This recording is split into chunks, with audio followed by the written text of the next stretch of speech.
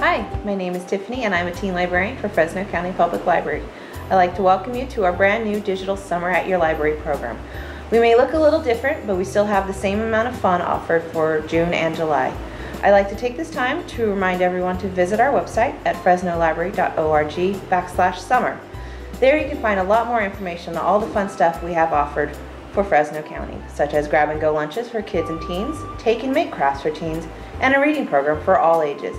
Again, go ahead and stop by fresnolibrary.org backslash summer for more information. Enjoy the show. Thank you.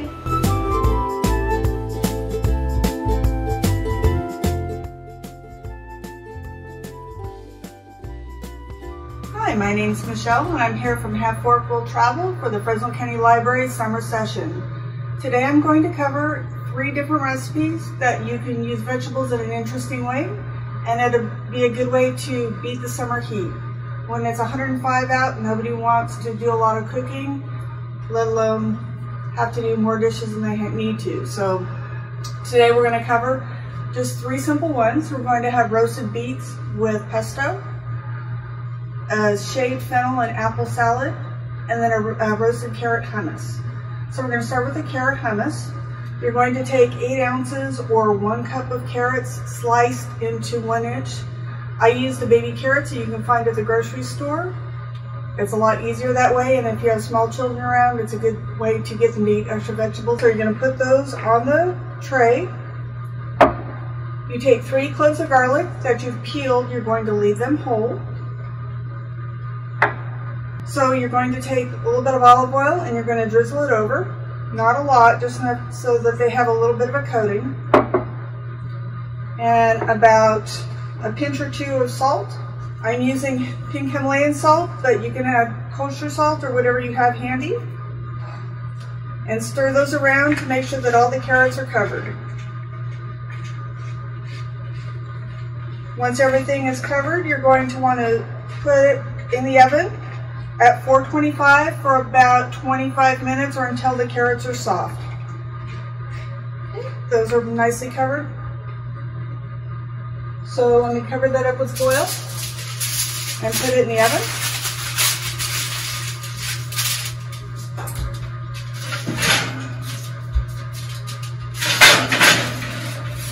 All right. So I have some that I did earlier. Once they are tender to the sport touch, you're going to want to let them cool because you're going to put them in a food processor. So the other ingredients you're going to need are a half a cup of olive oil, an eighth teaspoon of cayenne pepper. You can also use cumin, or if you don't want it as spicy, you can use a different flavoring. Um, you can use herbs. Choice is up to you. I like it spicy, so cayenne pepper it is one can of chickpeas that has been drained and rinsed, and two tablespoons of lemon juice. All right, so let's get the food processor set up here. All right, so we're going to combine everything in the food processor. Let's start with the can of chickpeas, the lemon juice, Put the cayenne pepper in there. And now we'll add the carrots. All right, everything's in there. I would say put in about half of the olive oil, not all of it. You're want to pulse it a little bit just to get everything broken up.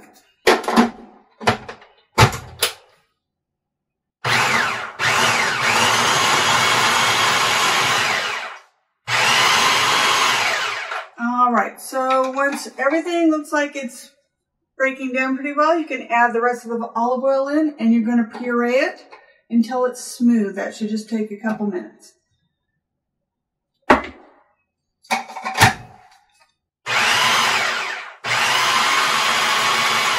One thing you might want to do is make sure that you take the top off and use a spatula to push the carrots on top towards the bottom.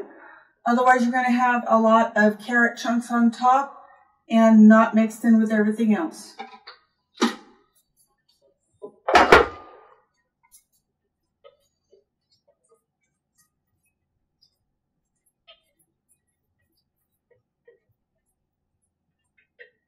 smells really good with the olive oil and the roasted garlic.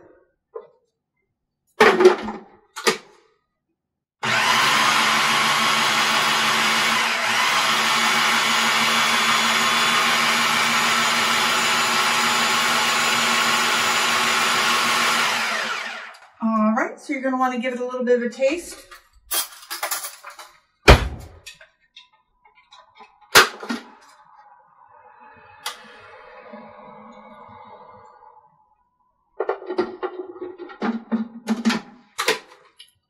It's nice and sweet, but I would add a little bit more salt just to bring up the sweetness. Salt is a good balance for that.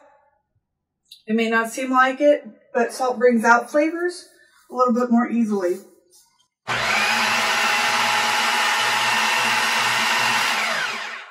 All right, let's take a look.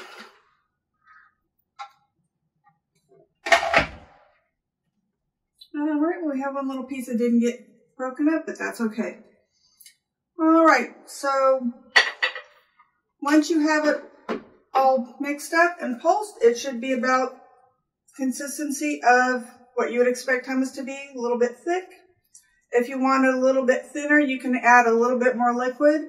Um, I would re recommend probably like a little bit of chicken stock.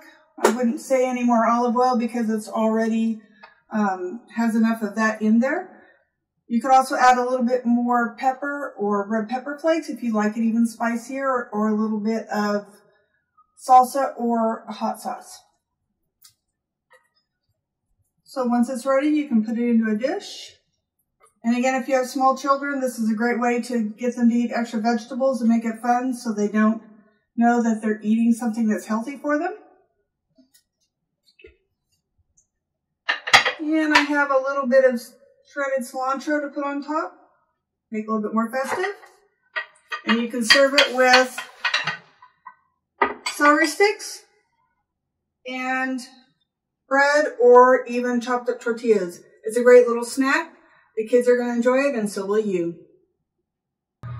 All right, now we're going to go on to the next recipe. We're going to make a roasted beet and pepita pesto. You're going to want to take two or three beets about this size, scrub them up, cut the tops off, leave the root on or you can trim it. Just keep in mind that if you trim beets before you cook them, the water is going to become whatever color the beet is. In this case, these are kind of a pink and white beet, so when I cook them, the water got a pink tinge. So you can either roast them for 25 to 45 minutes, depending if you leave them whole or cut them in half. Drizzle them with just a little bit of olive oil and a sprinkling of salt. Put them in the oven uncovered at about 350.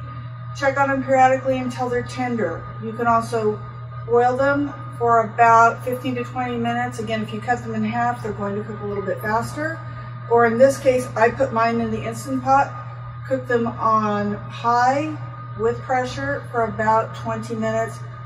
Let this steam go about the pressure evaporate a little bit by itself. Did a quick release, let them cool down. Once they're cool, they're very easy to peel. You just put them in a plastic bag, put them in the fridge. That way they cool down completely and the outer skin just peels right off. It's really simple. So we have the beads now. And as you can see, they're very pretty. You're just going to take them and cut them into slices. If you want, you can cut them into sticks or cubes. It's all up to you. I prefer these sliced like this.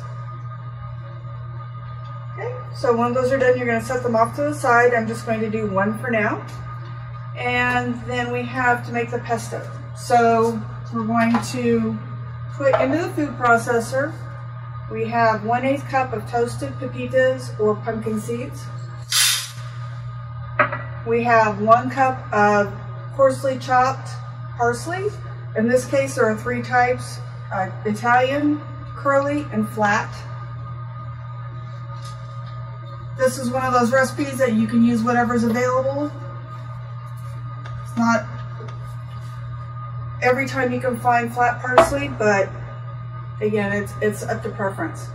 And I'm going to add just a couple pieces of mint, just to spice it up just a smidge. That's uh, an ingredient you can add or not, depending if you like mint or not. We have one clove of garlic minced, and about an eighth cup of olive oil.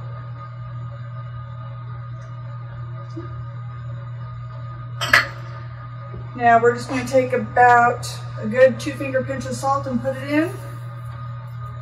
We're going to taste it partway through to see if that is enough.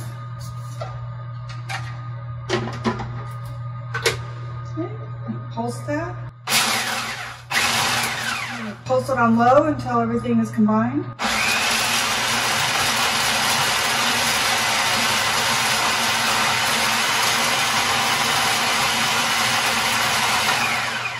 Okay, remember to scrape the sides down periodically to make sure everything is incorporated. Oh, it smells amazing with the garlic.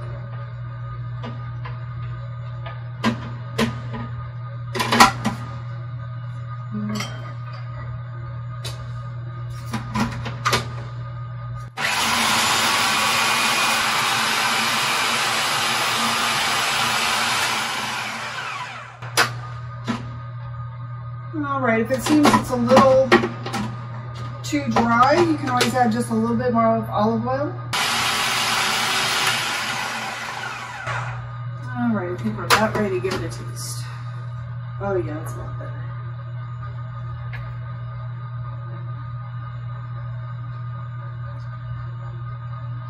It's really good. I think I'm gonna pulse it for a minute more.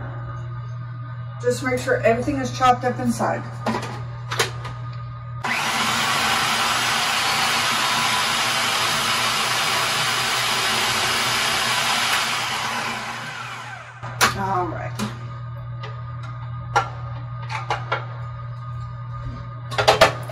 That's nice and bright green, and it's real simple to plate.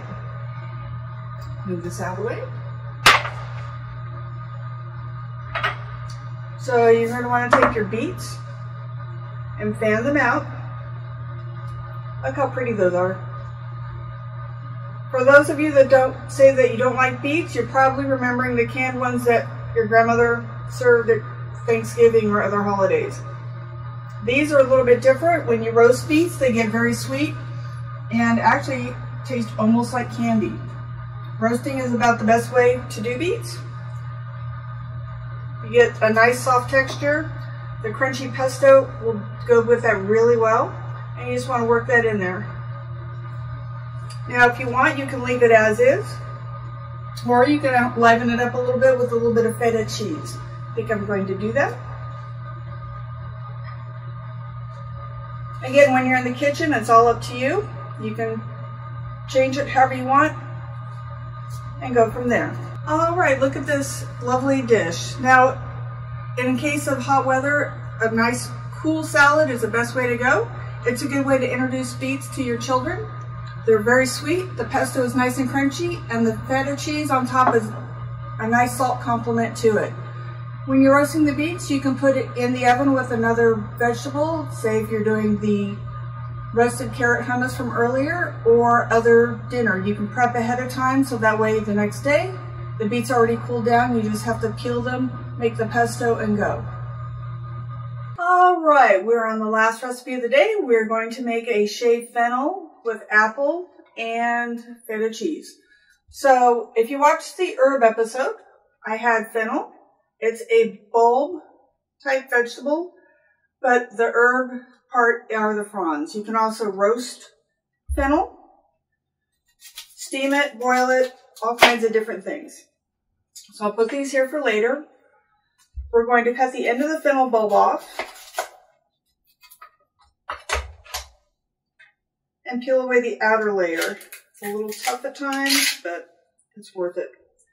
All right, so fennel is kind of an interesting vegetable in that it smells like licorice, but when you roast it, the licorice flavor goes away. So we're just going to do half of the half of the bulb today, make a small salad.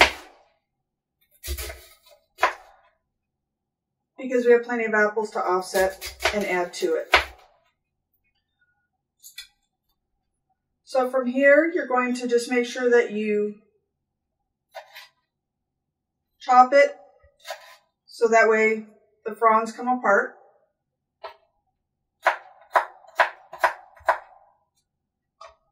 or you can stack several up. The main thing is to be careful with your knife so that you don't hurt yourself. And in case you weren't aware, a sharp knife is less likely to hurt you than a dull knife because you're less likely to fight cutting the food. If you have a dull knife, you're going to be fighting the food to cut it smaller and that's when you're like you're more likely to slip and hurt yourself. And cut this one. All right, so these are all bite-sized. I'm gonna put these in the bowl. And again, this is a fresh salad made with raw ingredients. It's really good when it's 105 outside. This is a half of a diced gala apple. You can use any apple that you choose. This is one of those dishes that you can use whatever's in the refrigerator. If you have a Granny Smith or Red Delicious, that will work just as well. You can also add mandarin slices or any other fruit, diced fruit. It's again, it's a nice light salad. It won't fill you up. And it's a good way again to get your children to eat vegetables if you're not sure. If you can get them involved in putting the salad together after you do the cutting, then they're going to be more willing to try it. So from there, we're going to add just about six inches of peeled and shaved daikon. If, all, if you have regular radishes, you can throw those in as, instead of that. And then we're going to cut down a little bit of mint. I'm not going to add too much just because some people in this house and the, that live in this house are not real mint fans, but a little bit is good for everybody. So we're going to slice it very thin, make little ribbons. You stack the leaves up on top of each other and roll it up. So that way you have a nice little garnish like that. We're going to also add a little bit of diced parsley and cilantro. If you're one of those people that cilantro tastes like soap, you don't have to use it. You can just add a little bit extra parsley. And I personally don't care for the stems in my salad. But if you're going to make a pesto like we did a few minutes ago, you can also use the stems in that. They'll be chopped up and work quite well in that. So for the dressing of the salad, we're going to use about an eighth of a cup of olive oil and just a couple teaspoons of lemon juice. And I'm going to add just a little bit of salt and pepper, a couple grinds. And this is Himalayan sea salt, but you can use kosher salt or whatever you have available. All right, so we're going to toss that real quick.